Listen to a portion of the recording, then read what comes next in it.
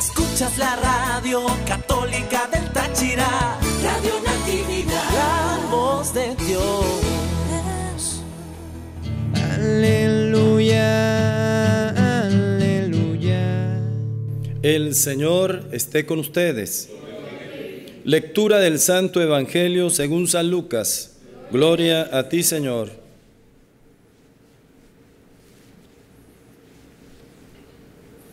En aquel tiempo Jesús dijo a sus discípulos, los perseguirán y los apresarán, los llevarán a los tribunales y a la cárcel, y los harán comparecer ante reyes y gobernantes por causa mía. Con esto ustedes darán testimonio de mí. Grábense bien que no tienen que preparar de antemano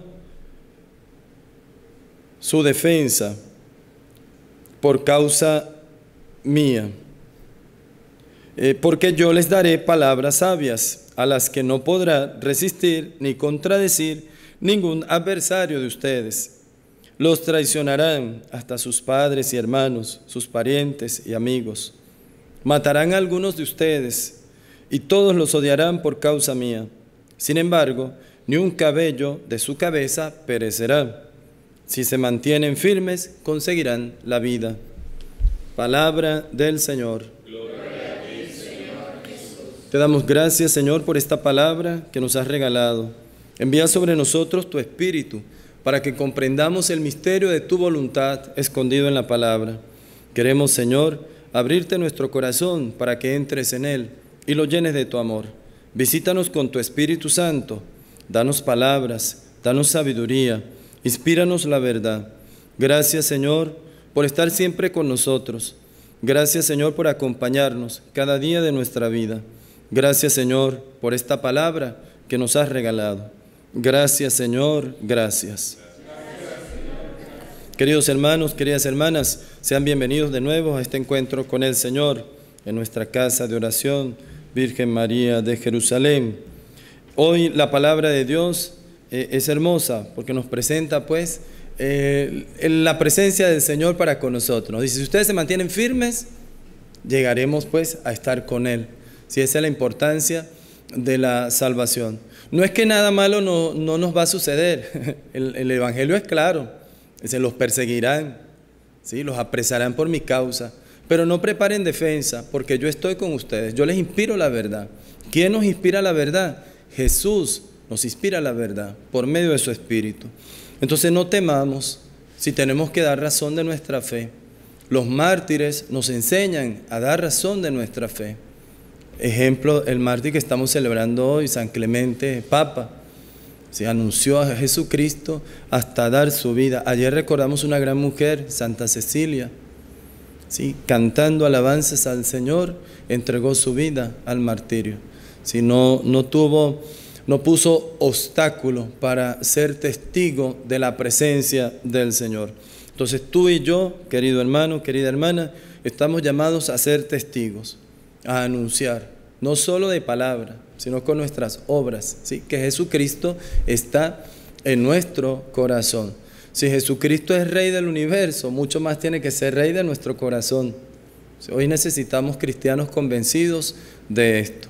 Y para tener el triunfo, ese triunfo que nos presenta el libro del Apocalipsis, tenemos que, debemos tener a Jesús pues en nuestro corazón. Debemos tenerlo y anunciarlo y no contaminarnos en la fe. Hay cristianos, hay cristianas que rechazan la cruz. No podemos rechazar la cruz. Si queremos resucitar, necesitamos pasar por la cruz. Jesucristo pasó por la cruz y resucitó. Está sentado a la diestra del Padre. Nosotros también. Muchos cristianos hoy en día no quieren ni aceptan el sufrimiento. Nosotros hemos de fijarnos en nuestro Maestro. Jesús no rechazó el sufrimiento, al contrario, abrazó su cruz. Y nos invita a nosotros a abrazar nuestra cruz y a caminar con Él.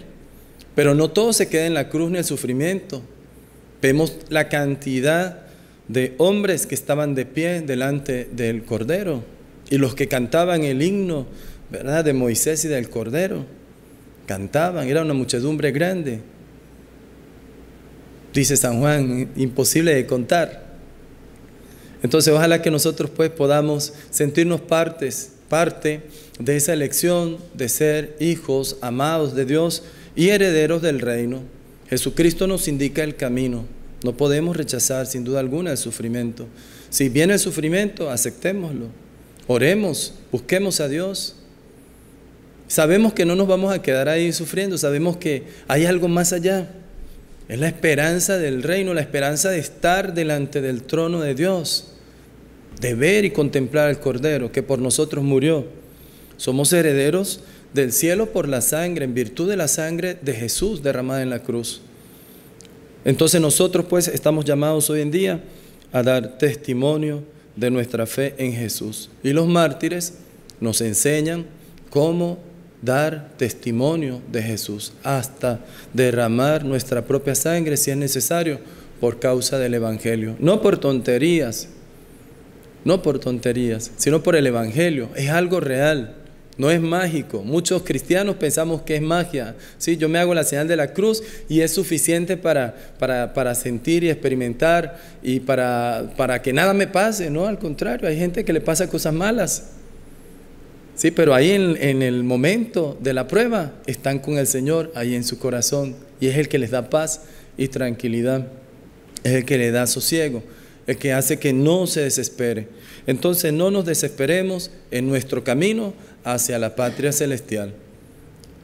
En la vida y en la muerte seremos del Señor. Ahora, debemos confiar en Él, abrir nuestro corazón a, esa presencia maravillosa, experimentarlo, saber que está ahí a nuestro lado. Y que si viene la prueba, superaré la prueba, porque Él está conmigo porque Él está contigo, superarás la prueba. Entonces, queridos hermanos, hoy nos presenta pues esta palabra maravillosa. A veces mucha gente de nuestra familia no entiende que también sigamos a Jesús, que queramos ser mejores, porque a veces el querer ser mejores nos hace ver mal ante otras personas, porque ya no seguimos las mismas costumbres de antes. Si antes éramos malos, hoy somos menos malos para nosotros mismos, pero a lo mejor para algunos somos más malos que antes. Entonces, confiemos en el Señor, dejemos que el Señor toque a nuestro corazón para que aprendamos a ser como Él, pasar haciendo el bien sin hacer ningún tipo de distinción. Nuestra Venezuela nos necesita, necesita el testimonio de los cristianos, cristianos auténticos, que no doblan sus rodillas ante la bestia, que no doblan sus rodillas ante los seguidores del mal. El Señor quiere que demos testimonio para que nuestro país cambie, para que nuestra familia cambie, para que nuestros hogares cambien. Es necesario ser testigo de lo que el Señor está haciendo en nuestro corazón, en nuestra alma, en nuestra mente y en nuestro cuerpo. Entonces a Él sea la gloria, la alabanza, el honor y el poder por los siglos de los siglos. Amén.